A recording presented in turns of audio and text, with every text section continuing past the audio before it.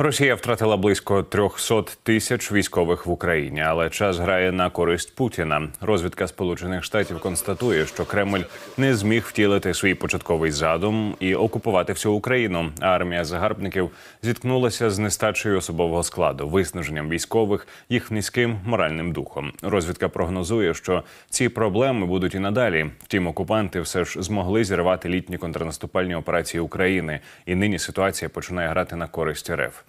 Зокрема, країна-агресорка поступово нарощує виробництво далекобійної зброї, артилерії та снарядів. Це дозволить Росії тривалий час витримувати бойові дії високої інтенсивності.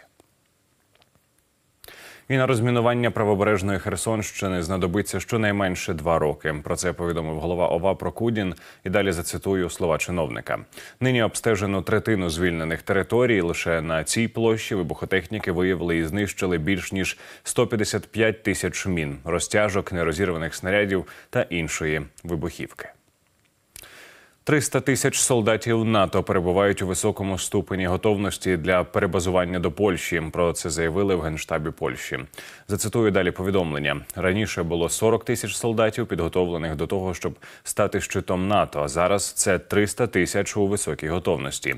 Ці солдати прибудуть до країни не після початку війни, а перед нею.